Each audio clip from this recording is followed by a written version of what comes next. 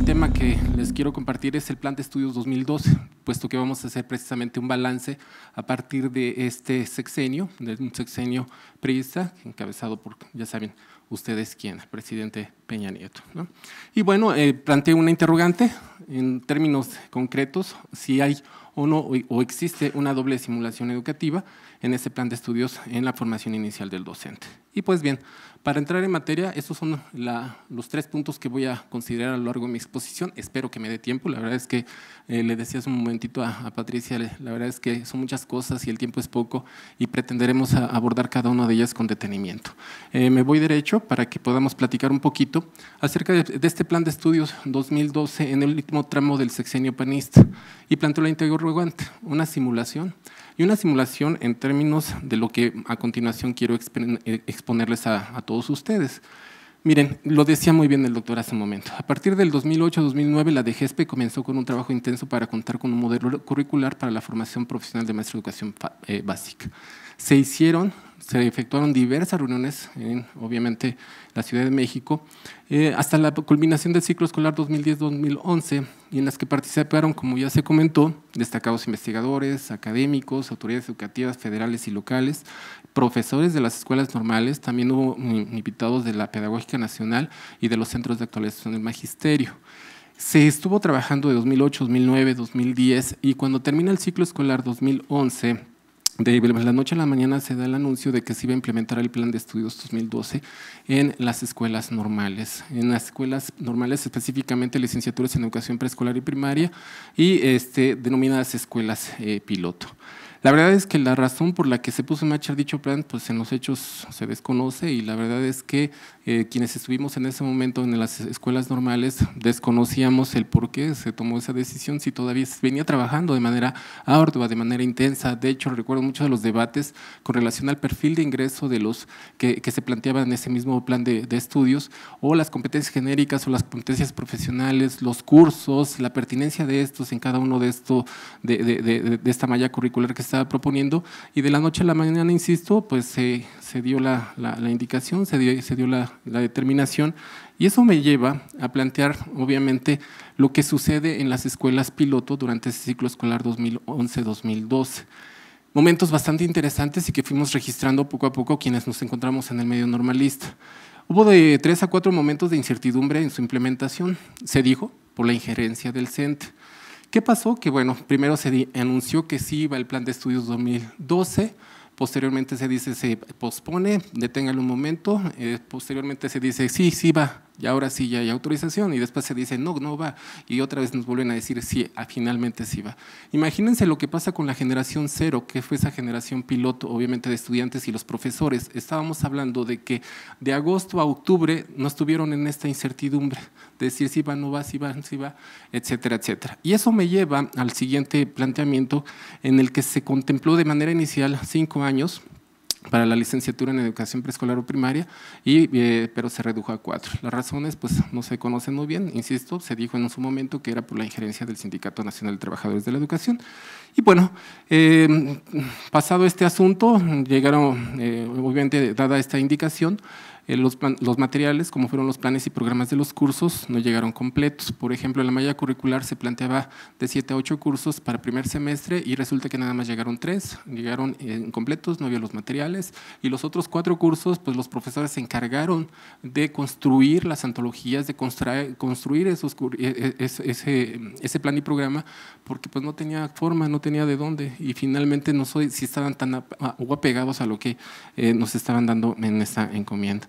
Eh, no hubo capacitación de personal docente y administrativo. De hecho, se emitieron unas normas de control escolar 2012 y la verdad es que no se difundió, no se dijo cómo se iba a operar porque administrativamente las formas de evaluación cambiaron.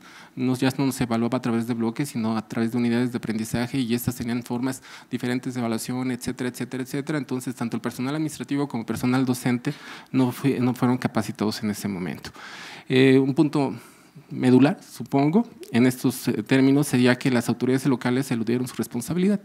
Los estados, muchos de, los, de estos estados dijeron, no es mi problema, tienen problemas en tu escuela y en la implementación hay que decírselo a DGESP y hay que decírselo a la, federación y sencillamente, como bien se, se, dice, se lavaron las manos y pues siguió, siguió transcurriendo todo este, proceso. Bueno.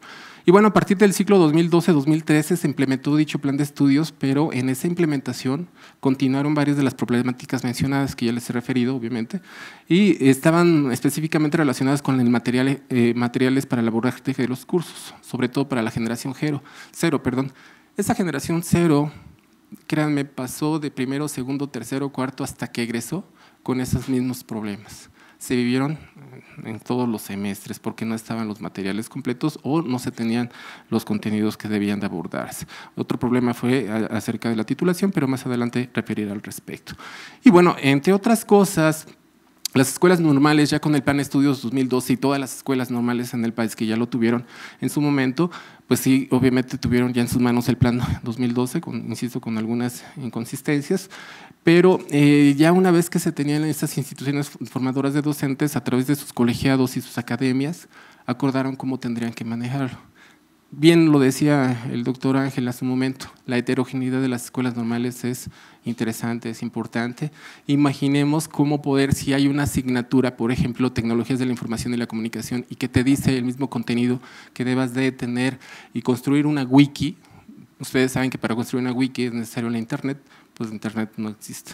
No está o no está habilitado. La banda ancha mejor ni hablamos, solamente como un ejemplo. Y bueno, vienen los tres puntos que me gustaría eh, retomar más adelante porque finalmente en, el ámbito de la docencia, investigación y difusión también se hicieron algunas cosas que me parecen bastante interesantes y que quiero compartirles más adelante. ¿Qué pasó con entonces el plan de estudios 2012 durante el sexenio priista? Y aquí quiero desglosar una serie de puntos que también son interesantes e importantes, porque sí hay que reconocer que tiene fortalezas este plan de estudios, pero también tiene algunas áreas de oportunidad. Eh, sí tiene cinco trayectos formativos. Quienes tengan conocimiento acerca de este plan de estudios, me parece que es bien importante mencionarlo. Esos cinco trayectos formativos es una de sus fortalezas, pero también cursos insuficientes en tiempo y contenido. Ya lo comentaban hace un momento y quiero, por ejemplo, enfatizar a un curso que se da en quinto semestre que es Herramientas Básicas para la Investigación. Ahí se pretende que el estudiante conozca todo lo relacionado con la investigación. Imaginemos hablar primero de investigación, enfoques de la investigación, cualitativa, cuantitativa, métodos, etcétera, etcétera, etcétera, en un solo semestre y es el semestre en donde hay algunas suspensiones, etcétera, etcétera, etcétera, pues se complica. Hay muchos contenidos y es muy poco el tiempo o es eh, mucho el tiempo y hay pocos contenidos. Hay que voltear a ver, por ejemplo, en la licenciatura en educación primaria esta álgebra, esta aritmética y obviamente también los contenidos, aunque son pertinentes, pero el tiempo no alcanza para poder cubrir esta, esta situación. Modalidades de titulación que se quedó a la interpretación y operatividad. En el colectivo de los maestros hay tres modalidades, o, tres formas de titulación, la que es eh, tesis, informe de prácticas profesionales y lo que es el portafolio de evidencias. Volvemos a la misma situación, el colectivo de maestros, el colegiado, las academias, y dadas esas normas eh, de, control escolar, pues son como operan estas eh, mm, formas de titulación. Uno o dos aspectos que también ya se comentaban hace un momento, las jornadas de práctica prolongadas que se dan en estos espacios. Pongo un ejemplo, en séptimo semestre se tienen contempladas ocho jornadas de práctica, pero también se tienen contemplados ahí cursos, pero también se tiene que contemplado un elemento que viene ahí señalado mm, en el punto siguiente, que es que se les pide a los estudiantes, por no decir que se les obliga, se les pide a los estudiantes que, que cursen, valga la redundancia, un curso para presentar el examen de posición. Imagínense ustedes que el estudiante en séptimo y octavo semestre está construyendo su documento de titulación, ¿no? está haciendo sus prácticas profesionales, está trabajando los cursos del séptimo semestre y todavía tiene que tomar un curso es una situación a veces creo que un poquito compleja. Imaginemos también al docente que es el asesor de titulación o que es el que va a supervisar la práctica o el que es el que va a realizar este tipo de ejercicios. Hay una situación también interesante. Hay tres elementos que indiscutiblemente, aunque no son mm, de alguna manera tan, tan eh, puntuales en lo que es el plan de estudio, aunque sí se está estableciendo, tiene que ver con la falta, falta de implementación de programas institucionales de tutoría en las escuelas normales. Algunos sí lo tienen y hay que reconocer que hay casos exitosos, sin embargo otras tantas no. Lo considera el plan de estudios. Se dice que debe programarse, eh, debe establecerse esos programas de tutoría, sin embargo, hay las condiciones a veces no lo permiten, a veces de infraestructura, a veces de capacitación, a veces de eh, eh, los acuerdos que se toman al interior de las propias instituciones. Hay un escaso impulso a, a la investigación educativa, esa es una situación que ahí está, que es una realidad porque finalmente, y quien sea docente normalita en este espacio, sabrá que, por ejemplo, quieres hacer investigación, es más, se te pide que hagas investigación, pero no se dan las condiciones para que pueda ver y puedas realizar esa investigación. Tienes una comisión, por ejemplo, en difusión, tienes una comisión en eh, tal eh, actividad, tienes además, eres asesor y además tienes dos cursos que tienes que impartir de esa malla curricular. Híjole, la situación, la verdad, que a veces es agobiante, y sobre todo, y también te piden que hagas investigación, pero te piden que hagan esa investigación con tus propios recursos, pero además no te conceden los permisos para hacer esa investigación que requiere, por ejemplo, ir a las escuelas de educación básica a trabajar con los maestros, etcétera, etcétera, etcétera. Hay unas situaciones ahí bastante curiosas, ¿no? Y bueno, hay un programa de transformación a las escuelas normales en donde se manejan los recursos PACT. Estos recursos llegan etiquetados efectivamente para que las instituciones puedan operarlos. Sin embargo, muchas de las veces pues volvemos al mismo punto, ¿no? Sí, eh, te piden que hagas investigación, pero no hay el recurso para que puedas hacer investigación. Te piden que hagas esto, pero tampoco se libera el recurso. Eh, a nivel local hay muchas problemáticas en la liberación de los recursos. No hablo solamente de mi entidad, hablo de varias entidades en donde sí se da esta complicación y bueno, se tiene uno que, que, que, que ajustar ¿no? ¿Qué pasa con el nuevo este, eh, plan de estudios? Ya me ganó un poquito la idea el doctor Ángel cuando presentaba, eh, la voy a adelantar, estos dos documentos, que el primero se emite en octubre de 2017 y el segundo en febrero de 2018. En el, si gustan, con, con todo el gusto, valga la redundancia, se los puedo compartir, para que ustedes puedan ver este avance y se pueda constatar la afirmación, y la sostengo de mi parte también, el desprecio que existe por la pedagogía y la didáctica. Me regreso tantito. En el primer documento se habla de armonizar, armonizar el plan de estudios de las escuelas normales con lo que sucede en educación básica. Tú buscas qué significa la palabra o el concepto armonizar y la verdad es que no viene explícita. Le preguntas a la autoridad, por ejemplo, local, oye, ¿y qué significa esto? Y me dice, pues nada más alinear. Ah, pues sí, ¿qué quieres alinear? Pues con la educación básica, pero ¿qué de la educación básica? Y es en donde empezamos a tener una serie de interpretaciones diversas. Yo pregunto, ¿qué hay que armonizar? ¿Para qué hay que armonizar? ¿Y por qué hay que armonizar? Sobre todo cuando algo me llama mucho la atención. Yo no tengo conocimiento de esto. No hay un diagnóstico y o valoración sobre el plan 2012 y ya se implementará uno nuevo. Es decir, qué tan pertinente es que se, eh, los resultados que se hayan tenido con relación a esa implementación, el trabajo que se vino dando al interior de las aulas, con los maestros, con los alumnos, etcétera, etcétera, etcétera. Sí, se han efectuado varias reuniones en diversos estados siguiendo el mismo esquema del Plan 2012, pero debo decirlo y señalarlo, sin forma, sin sentido y sin sustento revisen esos documentos, que obviamente les invitaría a hacerlo. Se considera un acercamiento, esa alineación a lo que es la educación básica y los logros de la reforma educativa en cuanto a la Ley General de Servicio Profesional Docente, pero no en los términos, vuelvo a repetirlo, de la pedagogía y la didáctica ofrece.